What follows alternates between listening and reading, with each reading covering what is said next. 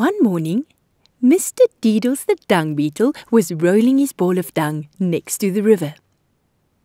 He was only a little beetle, and the ball of dung he was rolling was enormous. As he stopped to catch his breath, Mr. Crocodile said to him, Deedles, why do you work so hard? Look at me. I laze around all day. You can be just like me. Why don't you fetch Mrs. Dung Beetle and come live here with me?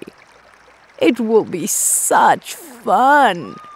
We can play games all day and have a good laugh at all the foolish animals toiling in the hot sun. I could do with the company. Well, said Deedles a little reluctantly, uh, I, I, I, am tired of rolling my dung balls day in and day out. I could certainly do with a bit of lazing around. And then he said with a bit more self assurance, and why should I work so hard anyway? Uh, no one is my boss. I can do as I please. And with that, Deedles the dung beetle left his ball of dung right there and scurried away to tell Mrs. Dung Beetle of his plan.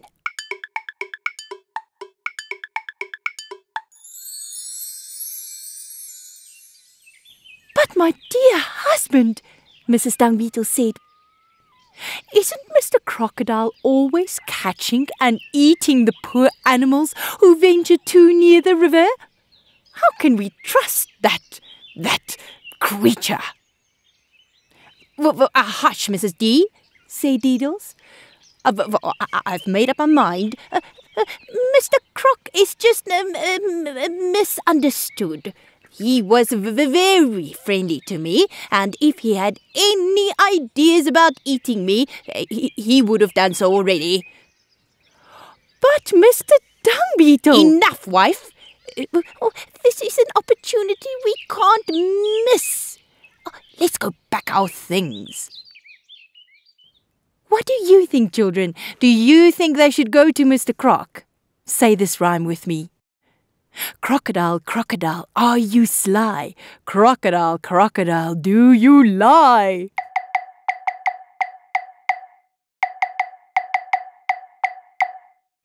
Let's see what Mrs. Dung Beetle thinks. I don't know. Something doesn't seem right. What if it's a trap? But Mr. Dung Beetle would listen to no reason. His heart was set on being idle from here on end. And Mr. Crocodile made it sound so appealing that he couldn't stomach the thought of rolling another ball of dung ever again. And so, the following morning, he made his way down to the river with Mrs. Dung following at a distance to show that she was going against her will. When they got there, Mr. Crocodile was already basking in the sun. Welcome, welcome, friends. So glad you could make it. Now, uh, find a nice spot and make yourselves comfortable. I'll go lie behind that rock, said Mrs. Dung Beetle. It's secluded and nice and peaceful. She scurried away to the shade of the big rock and now she was completely out of sight. Deedles, said Mr. Crocodile, now that we're alone, I want to discuss something with you. Don't you think it will be much more fun if all the animal friends were here with us? It's so nice here by the river, but I must say it can get quite lonely. Why don't you quickly go back to the forest and invite all the animals for breakfast tomorrow morning? I know some animals are scared of me, and it will make me feel so good if I can do something nice for them. Oh, th- th- that's so kind of you, Mr. Crocodile. Uh, well, I will run as fast as I can and go tell everyone. And with that, he was off. Do you think Mr. Crocodile is telling the truth? Let's say our rhyme again. Crocodile, crocodile, are you sly? Crocodile, crocodile, do you lie?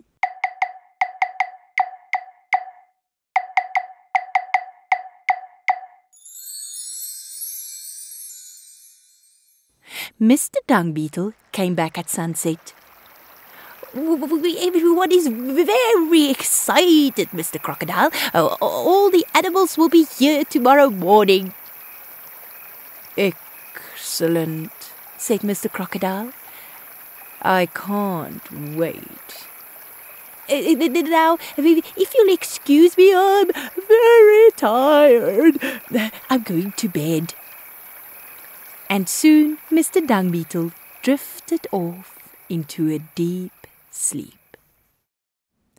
Behind her rock, Mrs. Dung Beetle was also asleep. But it wasn't a peaceful sleep at all. She was having nightmares and tossing and turning restlessly. she woke with a start. Something had woken her, but what could it be? Suddenly she heard the whispers. What a clever plan, the one voice whispered. It's almost too easy. I know, whispered another. And tomorrow we'll have a big feast, an all you can eat buffet. And all thanks to our good friends, the dung beetles. I can't wait, came an excited third voice. I think I'll start with a, a little owl as a tasty entree, and then I'll eat a big, uh, juicy bush pig for main course, and for dessert I'll have a honey ball of baby mice. Mrs. Dung Beetle was shaking like a leaf, listening to the crocs concoct their evil plan. Stop, stop, you're making me hungry. We'd better not stay here all night. I'll sneak back to my place and pretend that I've been there all night. You lot should go hide. When the animals arrive tomorrow morning, we'll surround them, and then the feast can begin. Hooray! All the crocs whispered, and they went their separate ways. Mrs. Dung Beetle couldn't believe her ears. Oh no, she thought. We're leading the animals into a trap. I have to go and warn them not to come tomorrow. She ran and ran as fast as her little legs could carry her, and soon she reached the forest. Animals, she shouted. Animals, listen to me. Don't go to the river tomorrow morning. I just overheard the crocs talking. They have an evil plan. They're going to catch and eat you. Slowly, the animals gathered round. You mean Mr. Croc hasn't changed his ways? And, and when he said he wanted to be friends with us, he lied? said little Molly Mole. That's it, piped up Jerry Giraffe. I'm sick of these crocodiles terrorizing us. It's time to fight back. But what can we do? asked Mrs. Impala. A silence fell as all the animals tried to think of a plan. All of a sudden, Mrs. Dung Beetle shouted, I've got it! I've got it! And the animals listened closely to what she had to say.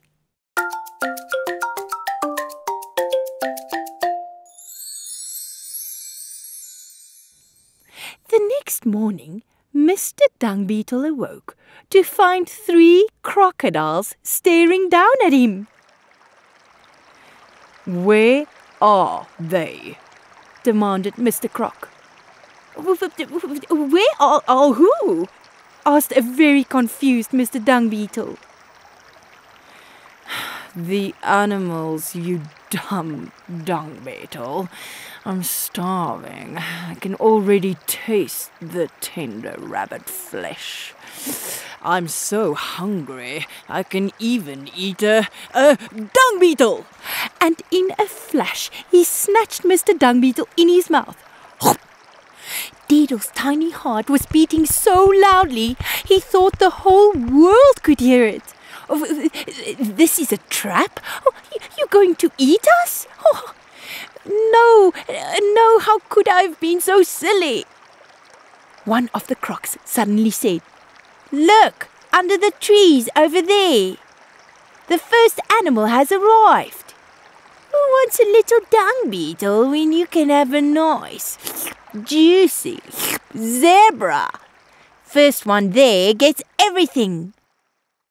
Mr. Croc spat out Deedles, and he tumbled to the ground with a thump. The crocs pushed and jostled to get to the zebra first, but in the end they all arrived together. All of a sudden, someone yelled, Now!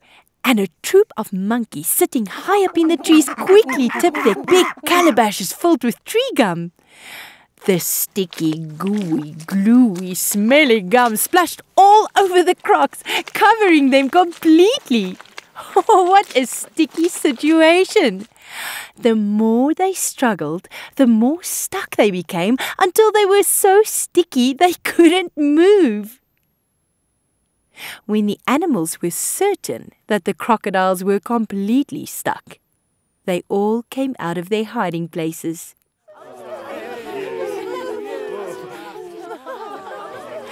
Mr. Dung Beetle couldn't believe it.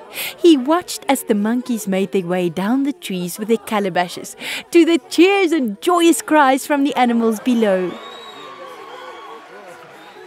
Well done, friends, said Mrs. Dung Beetle. We did it.